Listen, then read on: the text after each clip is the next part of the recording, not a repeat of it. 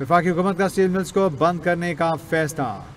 विफाकी हुकूमत का steel mill को बंद करने का फैसला। कामा कमेटी ने पाकिस्तान स्टील मिल की ऑडिट रिपोर्ट्स तलब करनी हुकूमती और कमर्शियल बैंकों से कर्ज पर सूद की मद में स्टील मिल्स के हवाले से अहम फैसला। गुजशत दस वर्षों में स्टील मिल्स 103 अरब रुपए कर्जों पर सूद की मद में अदा कर चुकी हैं।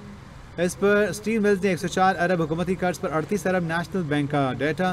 पाकिस्तान स्टील मिल्स मनकूला और गैर मनकूला हज़ार की वैल्यू 860 अरब रुपए है।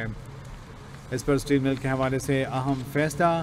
वफाकी हुकूमत का पाकिस्तान स्टील मिल्स को बंद करने का फैसला।